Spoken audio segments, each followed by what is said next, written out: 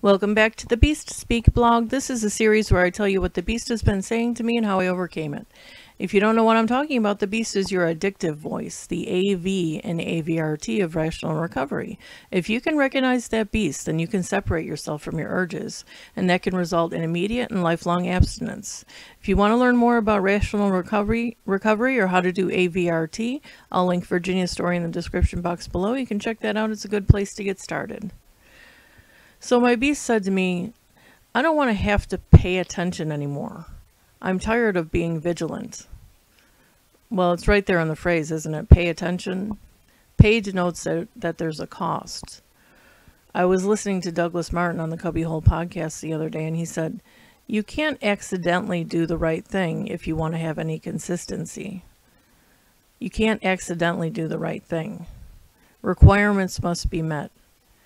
You want to be able to ignore the problem and just obey your impulses.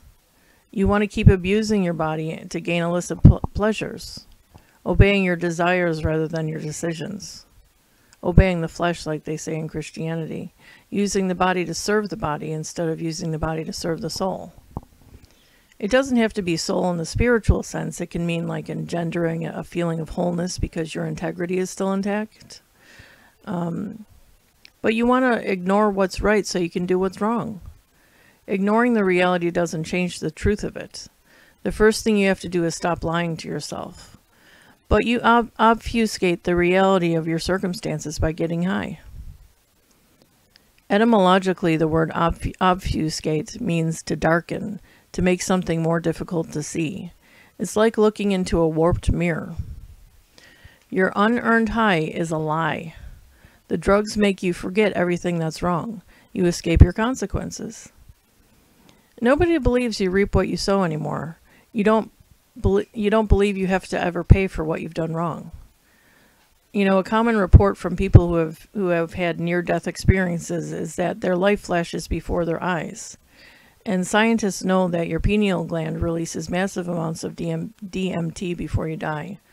Among other things, DMT can distort time so things feel like they're lasting forever. Can you imagine the dread of regret over things you've done and left undone in those final moments of your life? That's a trip I don't want to take without having a clear conscience. I believe everyone gets what they're due, what they've earned. There will be an accounting. During a moment of quiet the other day, I addressed the beast while it wasn't antagonizing me, and I said, I'm willing to take whatever amount of suffering is necessary, as many times as you can come at me, to put you down. I was so pleased by that statement. I'm willing to suffer to do what is right. I'm going to use this opportunity while I still have it to do what's right. The first step in that is, is an awareness of reality. You have to intend to see it. You have to intentionally pay attention. You can hear the word tension in that word attention, can't you? The word means to stretch out, like the way you keep a rope taut. You can imagine it as a game of tug of war between right and wrong. If you drop the rope, you're going to lose. So keep tension on that rope by paying attention.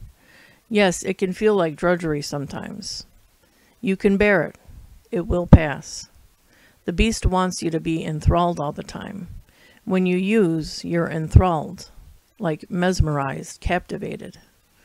In the 1570s, the word enthralled meant to hold in mental or moral bondage.